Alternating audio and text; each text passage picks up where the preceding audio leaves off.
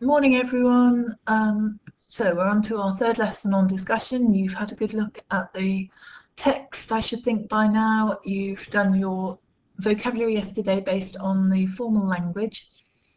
Some of those words you might have seen, some of them you perhaps haven't, like moreover, or thus, or therefore and hopefully you've worked out the definitions of those and written them in your own language. Not don't just write dictionary definitions. So the question is, should we be allowed to bring mobile phones into school?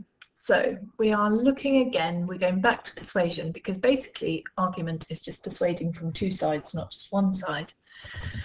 So you might remember some of our persuasive techniques we used before.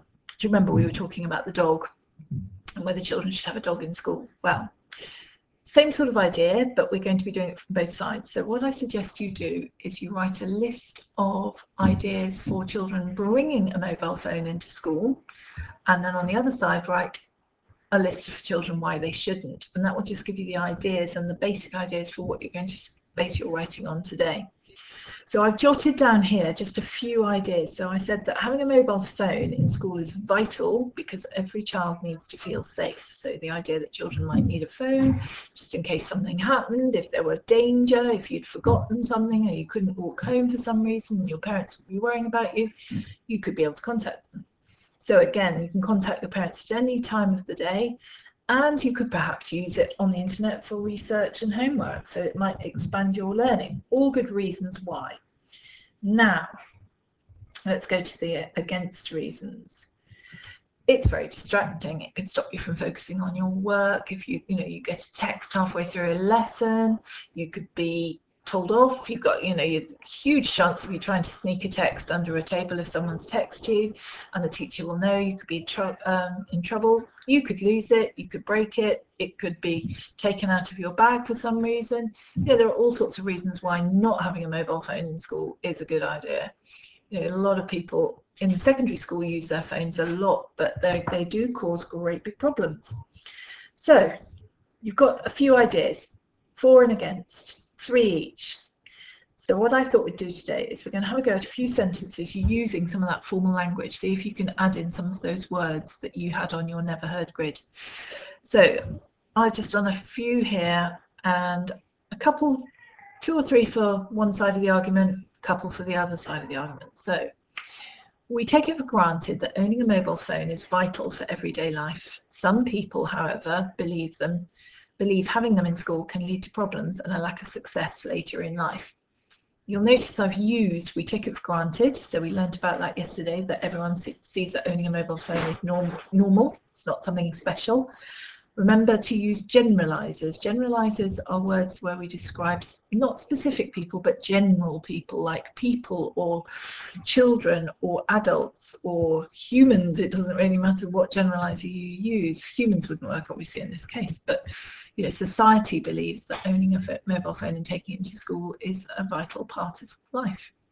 Firstly, forgetting your books could result in getting into trouble, and as a consequence, which you might have used, you might have to catch up in your own time. Furthermore, using a phone in class is very distracting.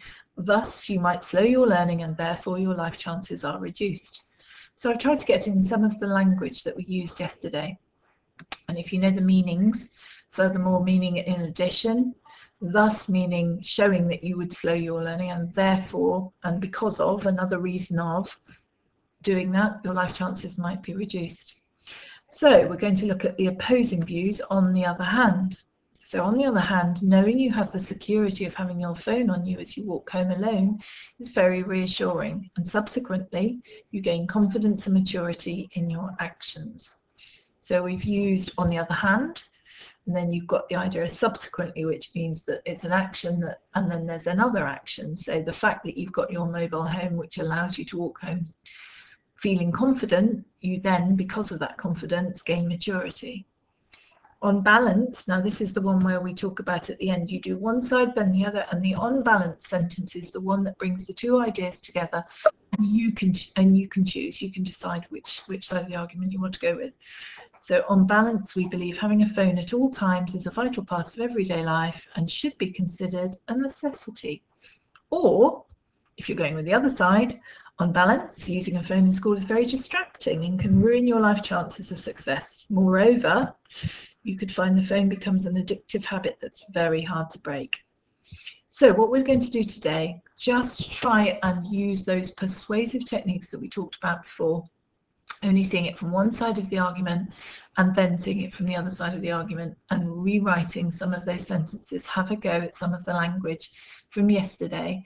So you've learned the words, you've, you've had a go at finding their definition and now we're going to use them in sentences today to to really add to that level of formality when it comes to writing a persuasive and discussive text.